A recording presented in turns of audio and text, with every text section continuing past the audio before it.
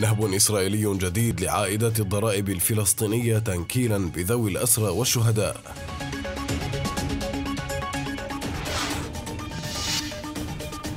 تحذيرات من خطر محدق باستيلاء السلطات الإسرائيلية على مقبرة إسلامية في يافا.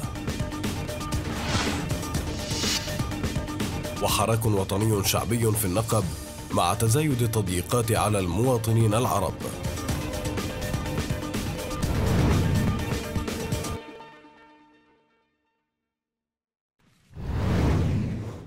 وقع وزير المالية الإسرائيلي موشي كحلون أمرا يقضي بنهب 42 مليون شيكل شهريا من عائدات الضرائب الفلسطينية المستحقة لدى إسرائيل بزعم أن هذا القرار يأتي في إطار الحرب على الإرهاب.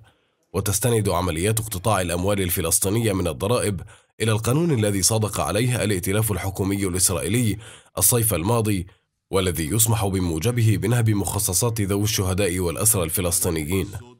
وكان الرئيس الفلسطيني محمود عباس قد أكد في القمة العربية في تونس على إصرار القيادة الفلسطينية استلام الأموال دون اقتطاع منها قائلا بأنه لن يرضخ لهذه الضغوطات ولن يتخلى عن أبناء الشعب الفلسطيني خصوصا من ضحى منهم.